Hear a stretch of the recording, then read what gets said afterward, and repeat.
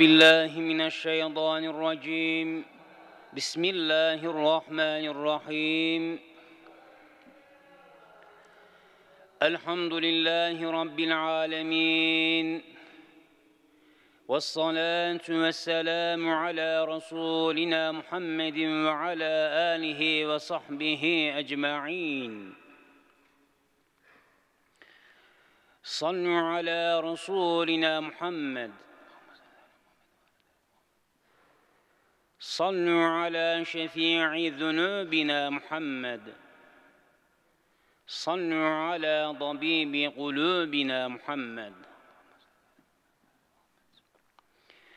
الحمد لله الذي هدانا لهذا وما كنا لنهتدي لولا أن هدانا الله. سبحانك لا علم لنا إلا ما علمتنا إنك أنت العليم الحكيم. سبحانك لا فهم لنا إلا ما فهمتنا إنك أنت الجواد الكريم. رب اشرح لي صدري ويسر لي أمري واحلل عقدة من لساني يفقه قولي. وأفوض أمري إلى الله إن الله بصير بالعباد. بسم الله الرحمن الرحيم. يا أيها الناس كلوا مما في الأرض حلالا طيبا ولا تتبعوا خطوات الشيطان إنه لكم عدو مبين. صدق الله العظيم. وقال رسول الله صلى الله عليه وسلم الرجل يطيل السفر أشعث وأغبر يمد, يد إلي يمد يديه إلى السماء. يا ربي يا ربي. ومطعمه حرام وملبسه حرام ومشربه حرام. قضي بالحرام فأنا يستجاب لذلك. صدق رسول الله فيما قال أو كما قال. Muhterem müminler, bu mübarek cuma günü hürmetine Yüce Rabbimiz niyetlerimizi, amellerimizi, ibadetlerimizi, tevbelerimizi ve dualarımızı kabul eylesin. Günahlarımızı ve hatalarımızı affeylesin. Bizleri lütfuna, keremine, inayetine, rahmetine mazhar eylesin. Hastanelerde ve evlerinde dua bekleyen mümin kardeşlerimize acilen şifalar ihsan eylesin. Vefat eden yakınlarımıza, akrabalarımıza, komşularımıza ve özellikle Filistin'de, Gazze'de şehadete erişen mümin kardeşlerimize rahmetiyle muamele eylesin mekanlarını cennet eylesin. Yüce Rabbimiz bizleri, ailemizi, evlatlarımızı, nesillerimizi her türlü şerlerden muhafaza eylesin. Şehitlerimizin emaneti olan vatanımızı, milletimizi, devletimizi, memleketimizi her türlü semavi ve arızi musibet ve felaketlerden, yangınlardan, depremlerden, sellerden ve her türlü bulaşıcı hastalıklardan ve hain saldırılardan muhafaza eylesin. Milli ve manevi değerlerimizi muhafaza etmek için cennet vatanımızın değişik yerlerinde bu zamana kadar vatanımız, milletimiz, ezanımız, bayrağımız uğruna kanlarını ve canlarını feda ederek makamların en yücesi olan şehitlik makamına erişen tüm aziz şehitlerimize, vefat eden kahraman gazilerimize rahmetiyle muamele eylesin. Ülkemizdeki birlik ve beraberliği, huzur ve barışı yurt içi ve yurt dışında mücadele eden kahraman ordumuzu, güvenlik güçlerimizi karada, havada, denizde muzaffer eylesin. Askerlerimizi ve polislerimizi her türlü tehlikelerden ve şerlerden muhafaza eylesin. Ezanlarımızı susturmak, şanlı bayrağımızı indirmek isteyen dahili ve harici hainlere ve düşmanlara fırsat vermesin. Her türlü fitne ve fesada karşı bizlere feraset ve basiret ihsan eylesin. Birliğimizi, beraberliğimizi, dirliğimizi Yüce Rabbimiz daim eylesin. Cenab-ı Hak dünyanın değişik bölgelerinde ve özellikle Filistin'de, Gazze'de zulüm altında inleyen mazlum, mağdur, muhtaç Müslüman kardeşlerimize nusretiyle muamele eylesin. Zalimleri ve işgalci düşmanları kahru perişan eylesin. Hz. Musa'nın duası ile zalimlere ve işgalci düşmanlara karşı münacatta bulunuyoruz. Ya Rabbi, Rabbena dmis ala emvalihim veştud ala kulubihim.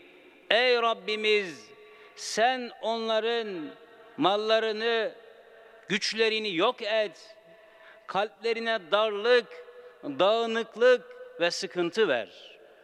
Ya Rabbi, Rabbena etmis ala emvalihim veştud ala kulubihim. Hz. Musa'nın duasıyla Ya Rabbi sen o düşmanların, o zalimlerin mallarını, güçlerini yok et. Kalplerine darlık, dağınıklık ve sıkıntı ver. Bu vesileyle Filistinli, Gazze'li kardeşlerimize yardım eyle. Zalimlerin zulümlerinde helak eyle ya Rabbi. Dünyadaki zulme uğramış tüm mazlumları muzaffer eyle. Ümmeti Muhammed'e birlik ve beraberlik, basiret ve feraset lütfeyle ya Rabbi.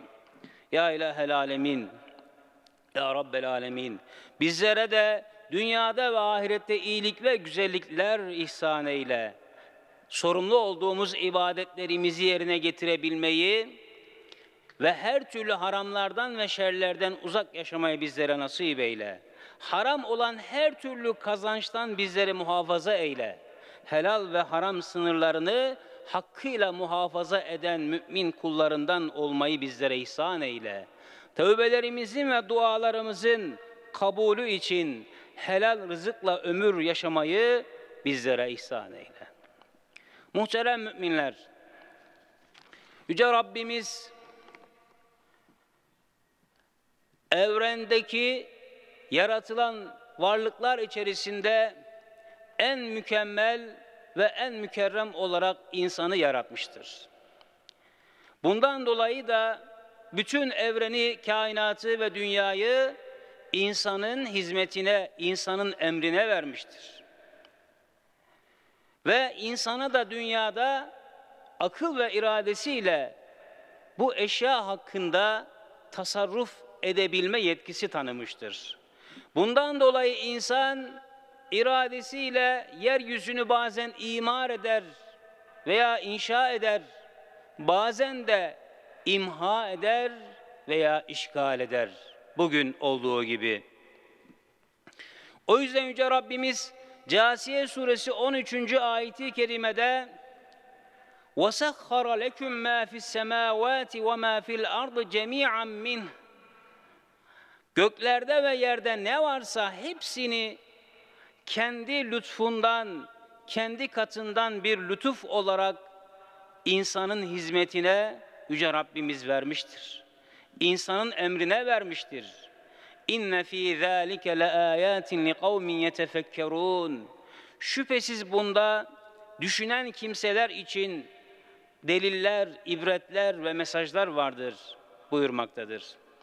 Bu vesileyle Rabbimizin dünyayı, kainatı ve evreni içinde olan her şeyi dolaylı veya direkt olarak insanın emrine vermesi aslında insanın kainatta, evrende, dünyada en mükerrem, en mükemmel ve en değerli varlık varlık olduğunu gösterir. Bu gerçeği de İsra suresi 70. ayeti kerimede Yüce Rabbimiz şöyle ifade ediyor. وَلَقَدْ كَرَّمْنَا beni Adem. Andolsun ki biz insan oğlunu şerefli kıldık. وَحَمَلْنَاهُمْ fil الْبَرِّ وَالْبَحْرِ Onları karada ve denizde taşıdık. Karada ve denizde onların ulaşımını sağladık. وَرَزَقْنَاهُمْ مِنَ الطَّيِّبَاتِ Ve insanoğlunu en güzel ve temiz olan şeylerden rızıklandırdık. Ve faddalnâhum alâ kesirin mimmen halaknâ tefdîlâ. Ve onu yaratmış olduğumuz mahlukatın içerisinde çoğundan üstün kıldık. İnsanoğlu üstün bir varlıktır. Ama bununla beraber aynı zamanda zalimdir. İnsanoğlu üstün ve güçlü bir varlıktır. Ama bununla beraber aynı zamanda nankördür. Dolayısıyla Rabbimizin vermiş olduğu nimetleri sınırsızca kullanırken Allah'ın haramlarına bulaşıyorsa o insan Rabbimizin nimetlerine karşı isyan ediyor demektir. Üstündür, güçlüdür ama bununla beraber yeri geldiğinde yeryüzünü imha eden bir varlıktır. O yüzden Mevlana Hazretlerinin güzel bir sözü var. Diyor ki topraktan geldik, toprağa gideceğiz. Önemli olan çamurlaşmamak. İnsan nasıl çamurlaşır? Rabbimizin nimetleri içerisinde eğer haramlarla ömrünü geçiriyorsa, günahlarla hayatını kirletiyorsa, haksızlık yaparak insanlara zulmediyorsa, o insan çamurlaşan insandır. Ömrünü, hayatını, ömür sermayesini çamurlaştıran insandır. Aynen günümüzde olduğu gibi.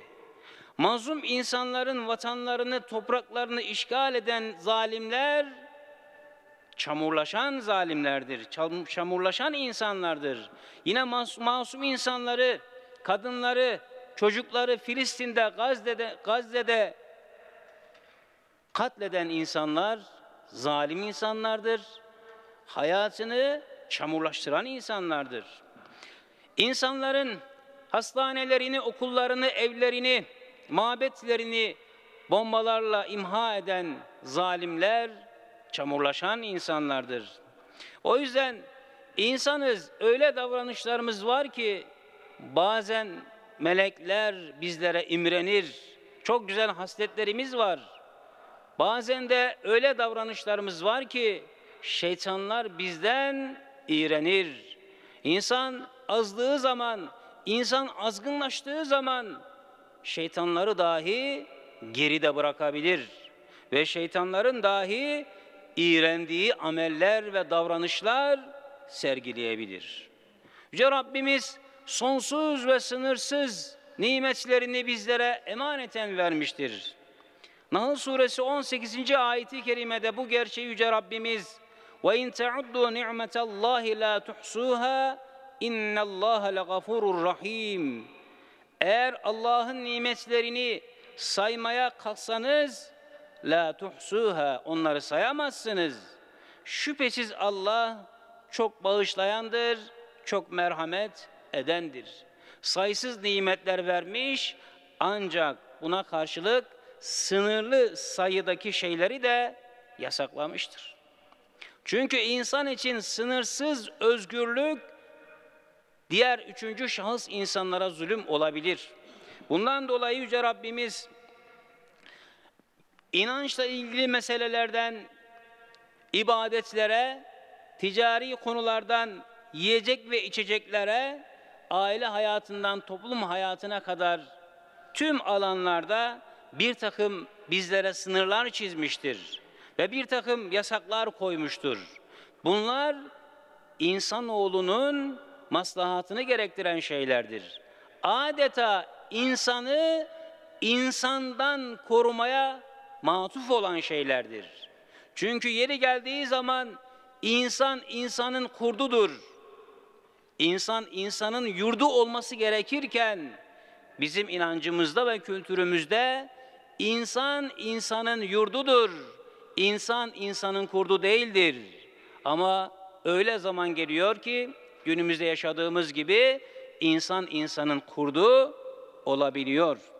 O yüzden dolayı değerli müminler Rabbimiz insanı insandan korumak için bir takım sınırlar ve bir takım yasaklar getirmiştir.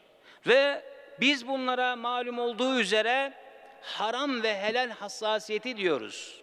Haramlar dediğimiz zaman Rabbimizin koyduğu sınırlardır, yasaklamalardır. Helaller dediğimiz zaman Rabbimizin bize izin verdiği, meşru kıldığı ve mahiyeti itibariyle, neticesi itibariyle insana fayda ve maslahat sağlayan her şeydir. İnsanın yararına olan her şeydir.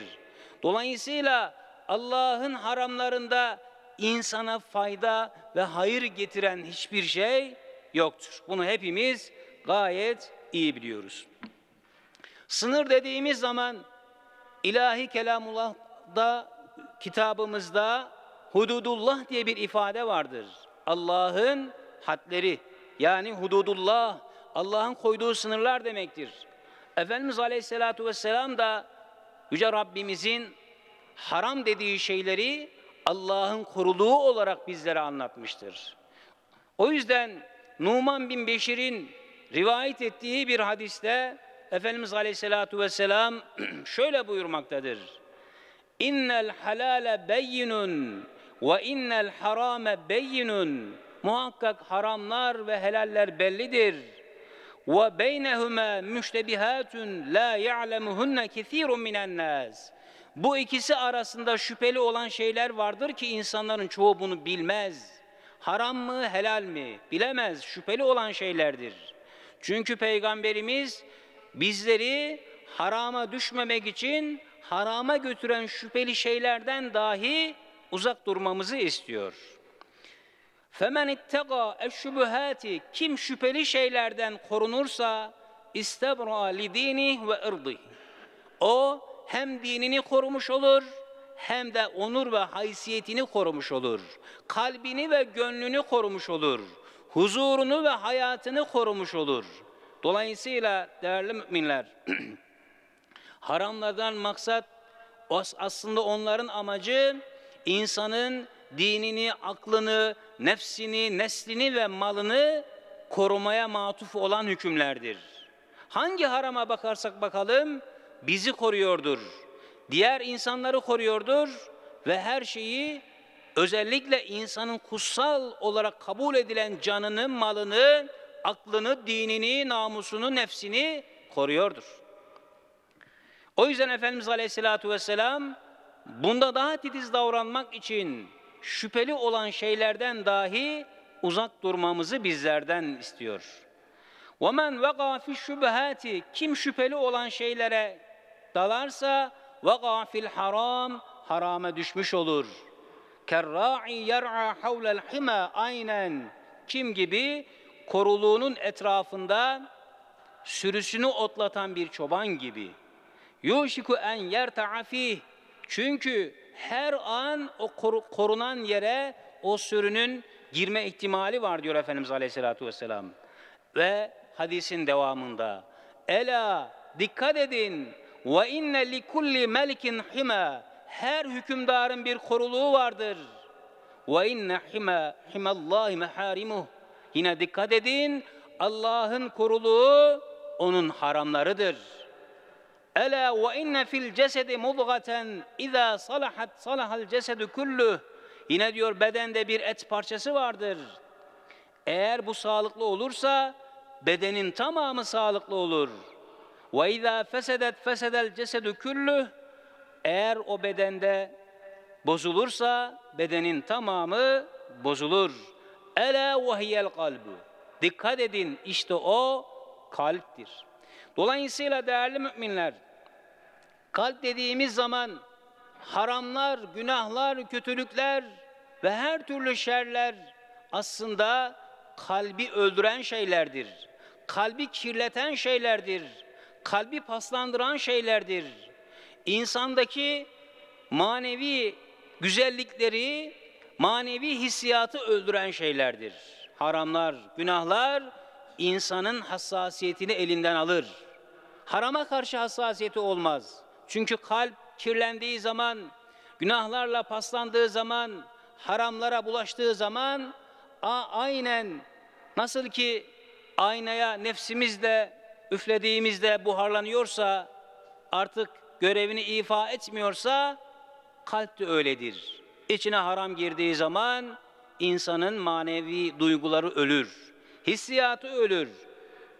insanın gönlü kirlenir, zihni kirlenir. Adeta hani bir hasta düşünelim. Yani şeker hastası olan bir kimseye, kolesterol olan bir kimseye doktorlarımız ne diyor? Şunları şunları yemeyeceksin. Çünkü beden sağlığına zarar verir. Haramlar da böyle. Ruh sağlığımıza zarar verir. Manevi sağlığımıza zarar verir. Huzurumuzu alır. Dolayısıyla bizler de farkında olmadan dünya hayatında huzursuz olarak hayatımızı devam edenlerden oluruz. Allah muhafaza. Helal olan şey nedir? Helal olan şey Rabbimizin meşru kılıp bize izin verdiği her şey ve içinde hiç kimsenin ahının bulaşmadığı, kul ve kamu hakkının karışmadığı, yalnız alın teriyle meşru yoldan elde edilen her türlü kazanç helaldir. Ve helal dairesi haram daireden daha geniştir. Rabbimiz evet bir takım sınırlamalar getirmiştir. Bazı şeylerde yasaklar koymuştur. Ama verdiği nimetler karşısında yasakladığı yenilmesi veya içilmesi konusunda yasakladığı şeyler azdır, dardır. İnsan tüm ihtiyaçlarını helal yollardan giderebilir. Dünyada neye ihtiyaç duyuyorsa helal ona kafi gelir. Harama ihtiyaç asla yoktur. Ama buna rağmen insan azgınlık yapıyor. Helal dairesi geniş olmasına rağmen haramlara bulaşıyorsa o zaman Yüce Rabbimizin şu uyarısına kulak vermesi gerekir. Rabbimiz Taha suresi 81. ayeti kerimede Kulu min dayyibati ma razaknakum Size vermiş olduğumuz rızıkların temiz ve helal olanlarından yiyin. Ve la tevgav fihi feyahille aleykum gadabi. Sakın haddi aşmayın, ölçüyü aşmayın, taşkınlık ve nankörlük yapmayın. Nimetlerimi israf etmeyin. Yoksa benim gazabım sizin üzerinize iner. وَمَنْ يَحْلِلْ عَلَيْهِ غَضَبِي فَقَدْ هَوَى Kimin üzerine gazabım inerse o felakete uğramıştır. Muhakkak helakete uğramıştır, helak olmuştur. Dolayısıyla değerli müminler, insan hani söyledik ya sohbetimizin başında Cenab-ı Hak insanı üstün bir varlık olarak yaratmıştır. Ama bununla beraber zalimdir. Yaşadığı dünyayı imha da edebilir, inşa da edebilir. O yüzden diyoruz ki insan bazen nimetler karşısında nankörlük de yapabilir. Nankörlük yaptığı zaman Rabbine karşı şükür etmeyip ona isyan ediyor demektir. O yüzden haddi aşan her davranış çevreye zarar verir. Dolayısıyla haramlar içerisinde ömrünü geçiriyorsa o insan da hem kendisine hem ailesine hem çevresine hem komşularına ve tüm insanlığa karşı zarar veriyor demektir. Çünkü haramlar aynı zamanda sadece bizleri korumuyor. Diğer müminlerin de haklarını koruyor. Diğer insanların da haklarını koruyor. Zinadan, içkiden, kumardan, faizden, rüşvetten, haksız kazançtan uzak duruyorsa bir mümin aynı zamanda hem kendisini hem de diğer insanları da korumaya başlamış oluyor. Çünkü haramlarda hem netice itibariyle hem mahiyet ve nitelik itibariyle bizzat haram olan şeyler olduğu gibi elde edilen yol itibariyle de aynı şekilde harama bulaşabilir insan ve diğer insanlara zarar verebilir. İnsan yediğine içtiğine mutlaka dikkat etmesi gerekiyor. Çünkü insan yediği içtiği şeyler beden ve ruh sağlığını etkilemektedir. Hem ruh sağlığına zarar verdiği gibi hem de beden sağlığına da aynı şekilde insanoğlu zarar verebilir. Yüce Rabbimizin kelamında özellikle değerli müminler dualarımızın, amellerimizin, ibadetlerimizin, tevbelerimizin kabul edilmesi için helal rızıkla beslenme ön plana çıkıyor. Yüce Rabbimiz hem insanlara hem iman edenlere ve hem de peygamberlere sürekli temiz ve helal rızıktan hayatımızı devam ettirmemizi istiyor. Mü'minun suresi 51. ayeti kerimede Yüce Rabbimiz bu gerçeği şöyle ifade ediyor. Ya eyyüher rusul, ey peygamberler, külü min minet dayyibat, temiz olan şeylerden, helal olan şeylerden yiyin. Ve'melu saliha ve salih ameller işleyin. İnni bima ta'melun alim. Şüphesiz ki sizin yaptığınız her şeyi Rabbim en iyi bilendir buyurmaktadır. Dolayısıyla değerli müminler burada öncelikle rızık dediğimiz şeyin temiz ve helal olan şeylerin önce zikredilmesi ve peşinden de salih amel işleyin demesi çok enteresandır. Çünkü salih amel dediğimiz zaman biz insanın inancına uygun olan davranışları ve sözleri kastediyoruz.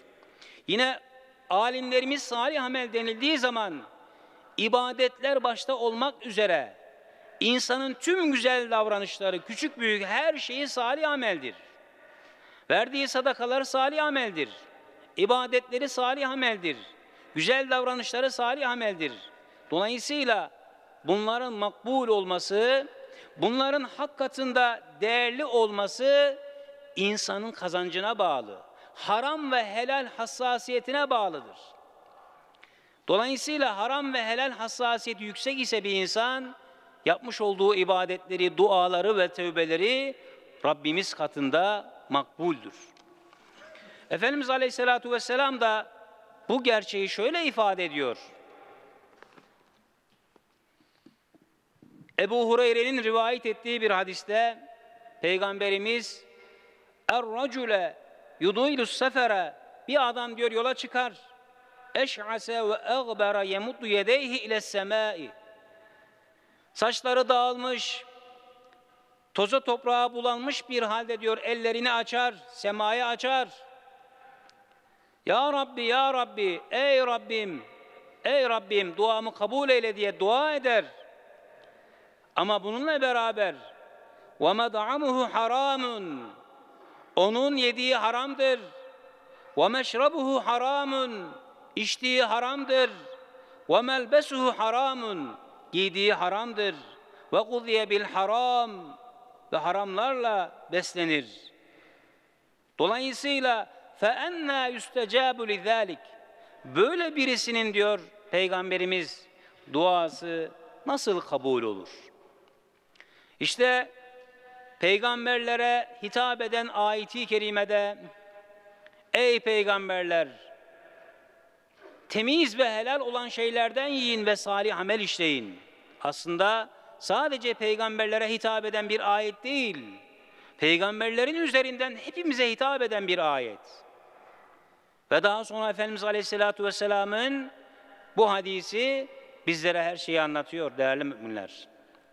Demek ki hayatımızın güzelleşmesi, ömrümüzün huzurla geçmesi insanın harama ve helale karşı hassasiyetiyle bağlantılıdır.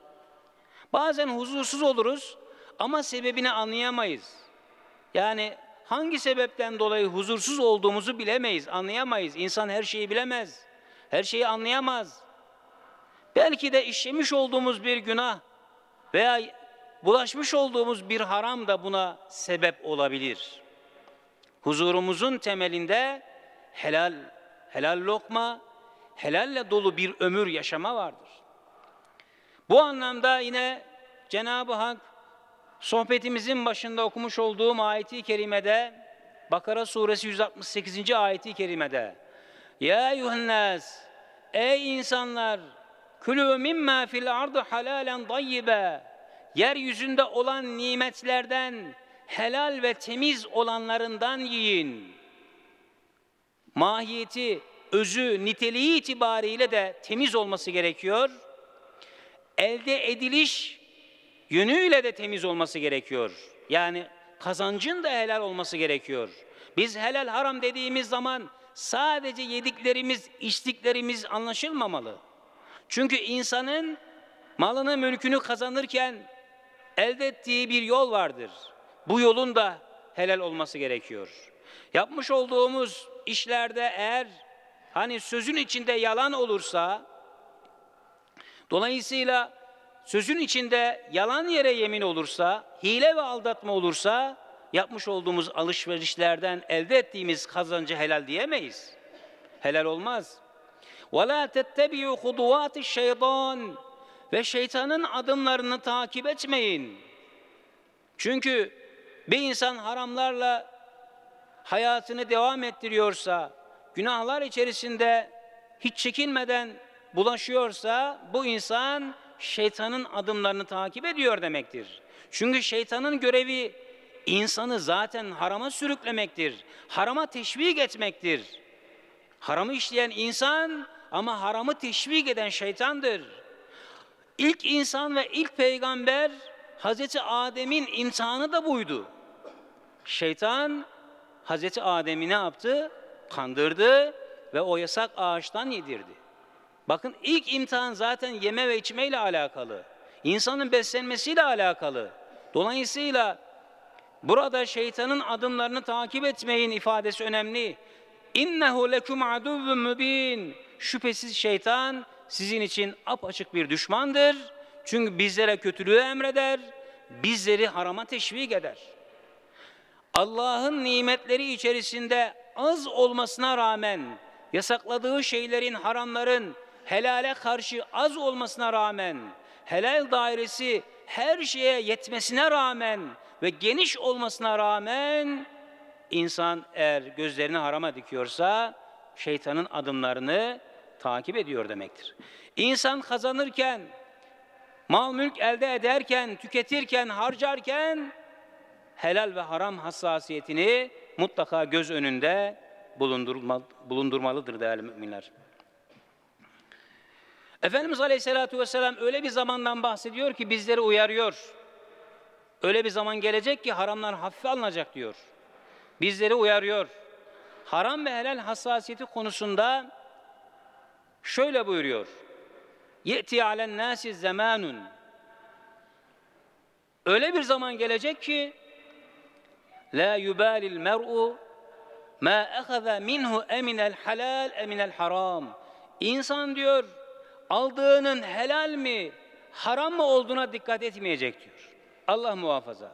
Dolayısıyla değerli müminler, bizler yerken, içerken, bir mal, mülk, servet elde ederken mutlaka helal daire içerisinde bunu gerçekleştirmemiz gerekiyor.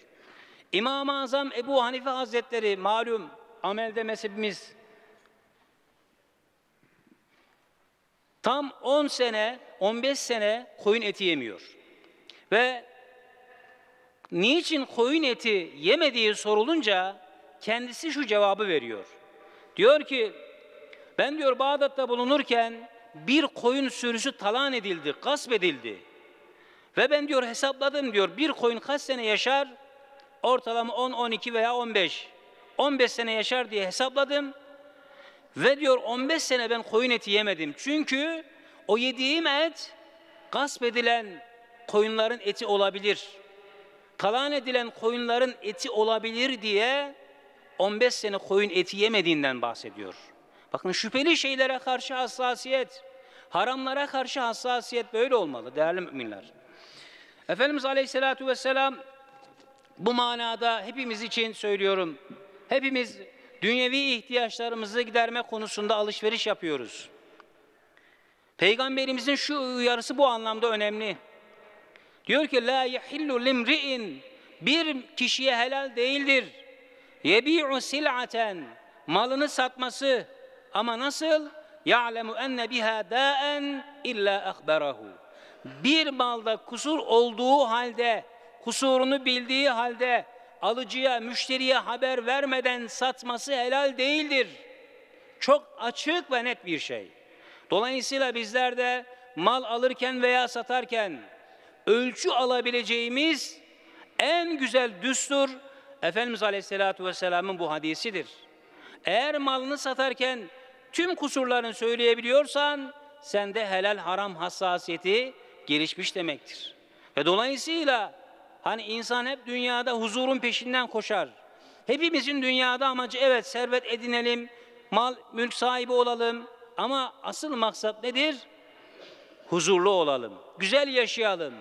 Eğer huzurlu olmak istiyorsak haramlardan uzak durmamız lazım. Çünkü haram giren mide, hani mide haramı hazmetse de vicdan haramı hazmetmez. Dolayısıyla haramlarda huzur arayana Allah huzuru haram kılar. Hani bir güzel söz var.